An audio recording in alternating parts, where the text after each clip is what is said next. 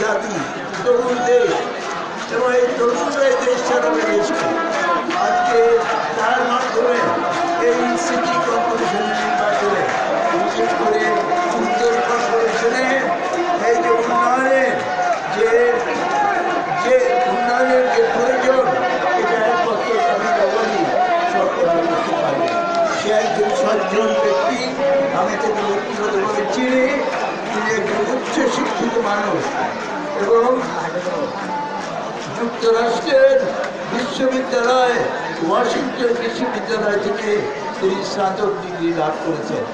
আজকে সেই যুবক আপনাদের সামনে এসছে ভোটের জন্য। ভোটের জন্য কেন?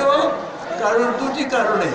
একটি হলো এই ভোটের মাধ্যমে আমরা বাংলাদেশে আবার গণতন্ত্র ফিরিয়ে আনব ইনশাল্লাহ আর ভোটের মাধ্যমে আমাদের নেত্রী বেগম খালেদা জিয়াকে আমরা কারামুক্ত করব।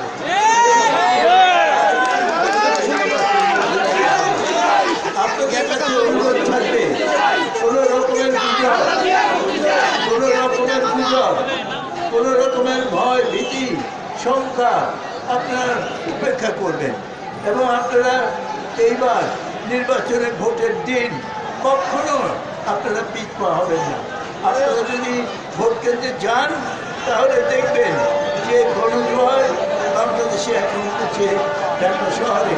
এই গণজোয়ারের প্রতিফলন আপনারা দেখতে পাবেন। এবং এই আমি মনে করি যে নির্বাচন সুস্থ এবং অবাধ হলে ঢাকা শিক্ষক প্রার্থী কাবিদ আওয়াল বিশাল ভোটের ব্যবধানে ইনশাআল্লাহ মেয়র নির্বাচিত হবে এই আশা ব্যক্ত করে আমি আমার বক্তব্য